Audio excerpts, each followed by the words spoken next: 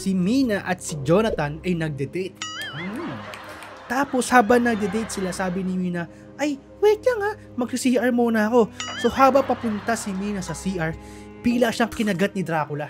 Busted na naman guys si Baron. Kaya si Baron ay nakaisip na naman ng masamang, masamang, masamang plano.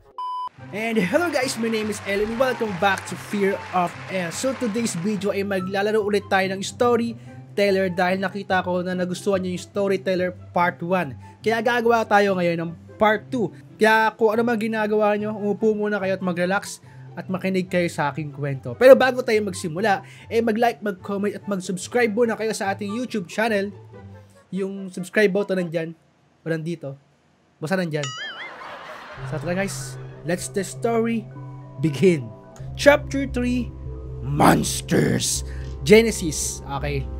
Tignan natin kung anong mangyayari dito. Adam and Eve die. Uy!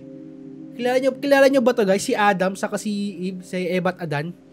Okay, so paano kaya mangyayari dito? So, kailangan si Adam at si Eve ay mamamatay sila.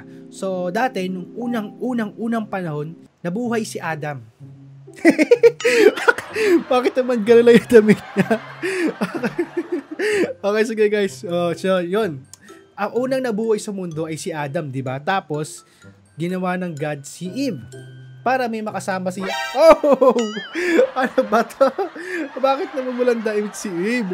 Takpan na lang natin yan, guys. okay. So, silang dalawa ang mga mag-aalaga ng Earth, ng mga hayop, parang gano'n yung nangyari noong unang panahon. Tapos, abang nagagala silang dalawa, may natagpuan silang isang puno. Isang puno ng apple. So, yung apple na yon binalaan sila ni God na huwag nilang kakainin yun. Pero mayroong isang ahas Nakita nyo ba yung pangit ng ahas na yun na mukhang tuko? Tinutokso ng ahas si Eve na kainin yung apple. Which is, wag na wag daw kakainin. Pero, ayun nga, kinain ni Eve, pasaway. Muggers talaga, oh. Kaya ngayon, anong nangyayari? Habang sa garden, wait lang, ano ba kinain ni Eve? Yung apple o yung ahas? Bakit nawala yung ahas? Baka kinain ni yung ahas sa sobrang gutom nyo. So guys, dahil kinain ni yung ahas, ay yung apple, eh nasarapan siya, inimbitahan niya si Adam na kumain din ng apple. Nandamay pa. So, ayun, nabusog silang dalawa at tuwang-tuwa pa sila. At habang naglalakad sila, nagalit ang Diyos. Judgment Day. Unang nakita si Eva. Hmm, tinamaan ng kidlat. Ouch. At pangalawang judgment naman guys ay si Adam. Tinamaan din ng kidlat. Ow. At ang nangyari sa puno, tinamaan din ng kidlat. Lahat sila tinamaan ng kidlat. And that's the end of story. Bawal maging pasaway. Okay guys, tapos na natin yung Genesis. Dito naman tayo sa Dracula. Uy, mukhang maganda to. Favorite ko to ah. Nangagat. Oh, cured from vampirism. Hmm. So, ibig sabihin, yung vampire magiging tao. Hindi na siya maninipsip ng dugo. Oh, ang lungkot naman nun. Okay, sige, sige. Ganito ang nangyari. Isang gabi, si Dracula ay may nakitang bata si Mina. Kinagat niya sa leeg. Ouch! Bakit ba lagi sa leeg, no?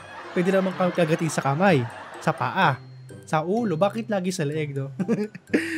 Ah, sige, baka mas masarap yung dugo. Ay, ulit lang guys, ulitin natin. Medyo dagdagan natin ng drama. Kunwari, ganito na lang nangyari.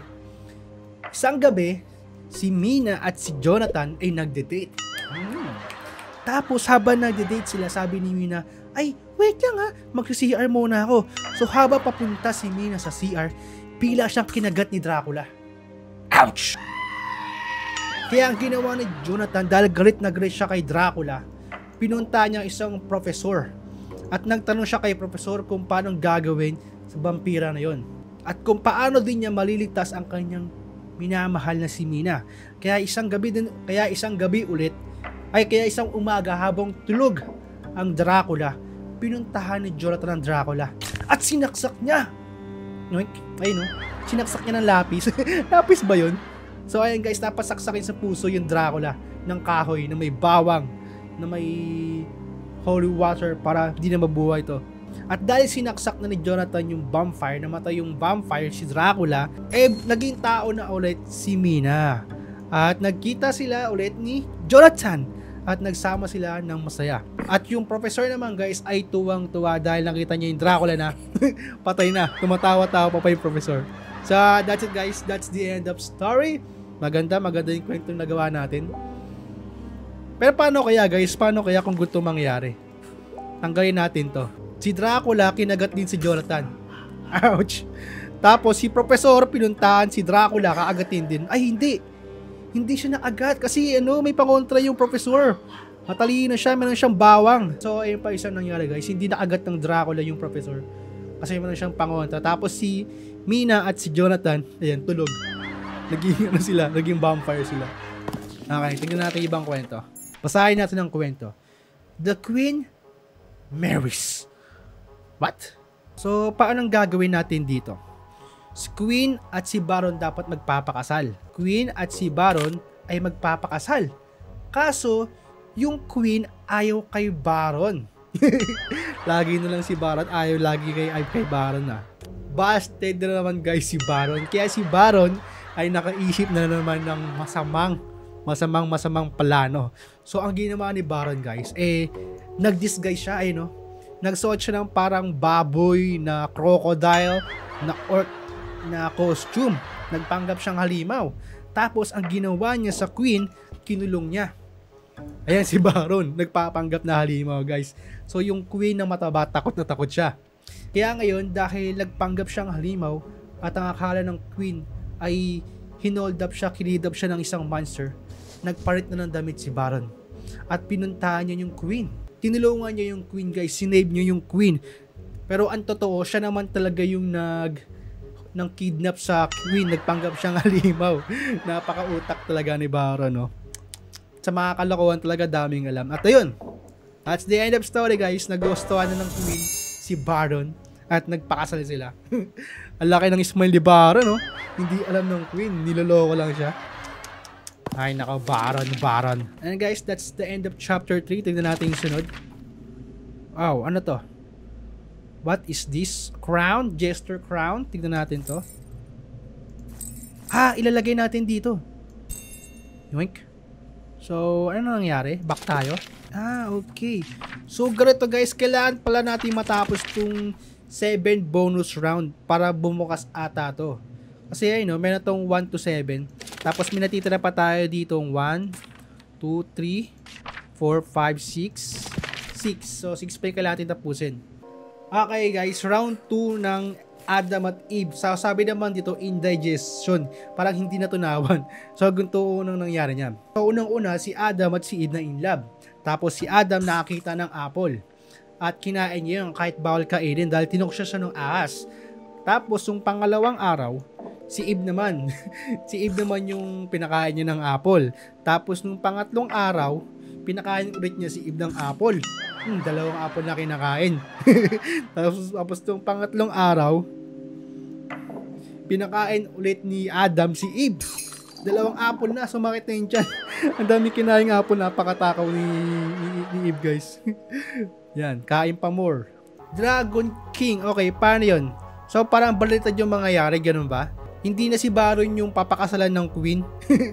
okay, sige, subukan natin guys. Baguhin natin yung kwento. So, ganoon ulit guys. Unang-una, yung queen ayaw kay Baron. Kaya nainis si Baron, nagalit siya sa queen. Kaya ang ginawa ng na, ni Baron, eh, kinulong niya yung queen. Kinidap niya. Tapos, nag-disguise si Baron na maging, na maging dragon pala to. Tapos, habang nakakulong yung queen, sinave ni Baron yung queen habang naka-dragon uniform siya. Tapos, nagpakasal, nagpakasal na yung queen at yung dragon. So, ayun, naging Dragon King. And okay, tapos na ba lahat? Okay guys, tapos na. 7-7. Tignan natin yung susunod. Oh! End of demo. The full version is coming soon with more characters, settings, and surprises. Oh! So that's it guys. Tapos na yung storyteller. Pero lalaroin pa rin natin to kapag lumabas na yung full game nito. So, abangan nyo yun guys. At sana nag-enjoy kayo si video nito. Kasi ako, nag-enjoy ako sa game na to. So, yun lang guys. Huwag nyo kalimutan mag-like, mag-comment at mag-subscribe. Kita kits bukas. Bye-bye.